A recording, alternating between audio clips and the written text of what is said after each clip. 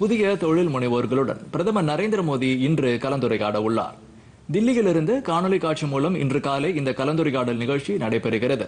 இதில் வேளாண்மை சுகாதாரம் விண்வெளி தொழில்துறை சுற்றுச்சூழல் உள்ளிட்ட பல்வேறு துறைகளில் ஈடுபடும் புதிய தொழில் முனைவோர் கலந்து கொள்கிறார்கள்.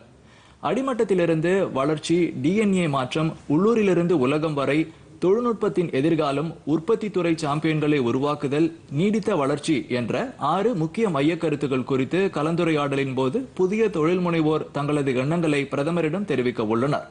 நாட்டில் புதிய கண்டுபிடிப்புகளை அறிமுகம் செய்வதன் மூலம் தேசிய தேவைகளுக்கு புதிய தொழில்கள் எவ்வாறு பங்களிக்க முடியும் என்பதை புரிந்து கொள்வது இந்த கலந்துரையாடலின் நோக்கமாகும். பிரதமர் நரேந்திர மோடியின் தொடர்ச்சியான கலந்துரையாடல் முயற்சிகள் நாட்டில் புதிய தொழில் நடைமுறைக்கு ஊக்கமளிக்கும்.